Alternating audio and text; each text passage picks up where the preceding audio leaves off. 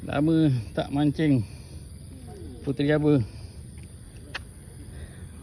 Adalah hasil sikit hari ni. Seko je pun.